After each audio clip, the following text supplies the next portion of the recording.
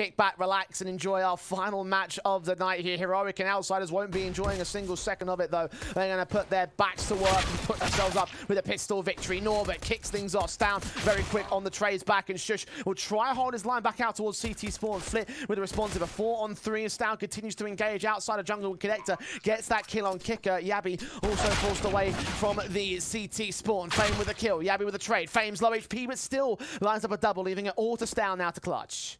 Out towards the top of connector, there would have been known Jame playing out from default, just spotting for information, and out about time wasting. stavn is doing some serious damage on the clutch, though. Taps forward, Fame on three, Jame on six, stavn still the 82. No kit in play though, stalling for time, gets that shot back on the defuse, will now hold the line, keep the crosshair held. Fame's got absolutely no utility, no face, no contact. Swing, and the headshot gets landed for the Glock. Fame is going to get swung on by jabbi. He's thinking of making that move. Canadians all watching the crack angle. stavn does get caught off and Kickout will react with that. sjuush, however, gets his trade. jabbi indeed does find Fame. So two standing out for the outsiders, both inbound towards the A side. In Palace, out in the open. sjuush somehow gets Norbert despite being flanked by Jame at close quarters and finally gets domed in by jabbi. So that's a double for him.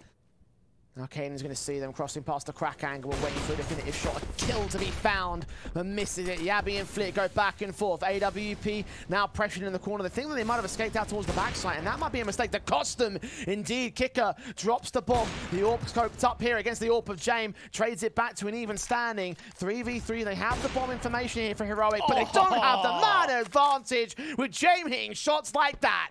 Flash forward, still cannot see them, but can hear them getting tagged up. Outsider still double with that kill and kicker. The spray through of the Galil. Headshot found. Burst back to the Sjuush doing Jame's down to 18 points of HP. stavn continues to spray. It does get his 2k. Norbert and Fame out. Kicker will fall. Now a 4 on 2 as they've regained control of this.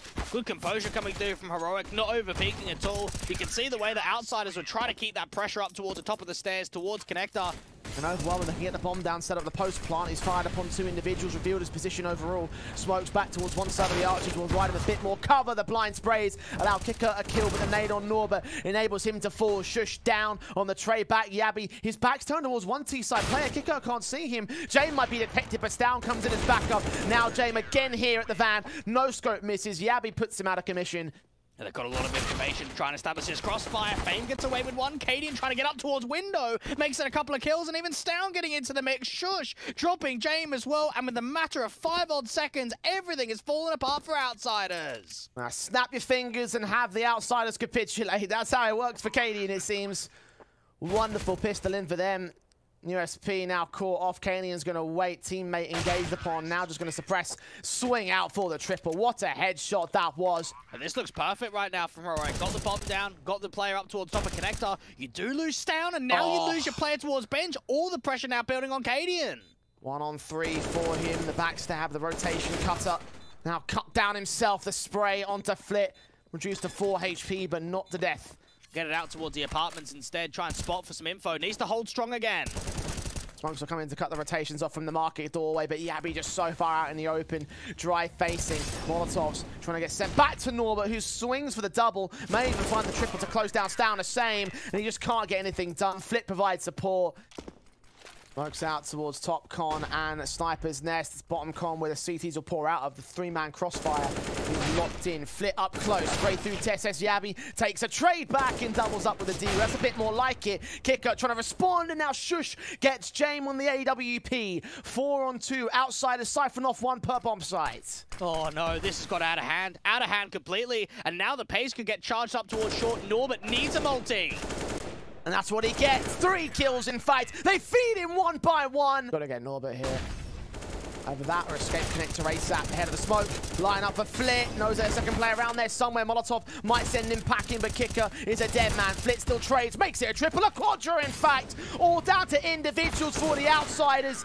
And Cadian's left alone to fall to Norbert. Gets his piece of the pie. Vice versa applies. If outsiders win this next round, Heroic will have nothing to rebuy. A reset on for them. A force invest, which would lead to match point. Flit, first man in, spray goes Orion's down, catches the kill, but Fame's looking for three, and he's lined them all up for it. That is disaster for Heroic. What is with it with these multi-frags? We're seeing them again, and it's Fame to step up to the marker. You got Flit and him to be aggressive, to be that dynamic duo to put pressure right up there towards top mid, and Fame comes through with the lineup. So much damage compounding for those last three individuals.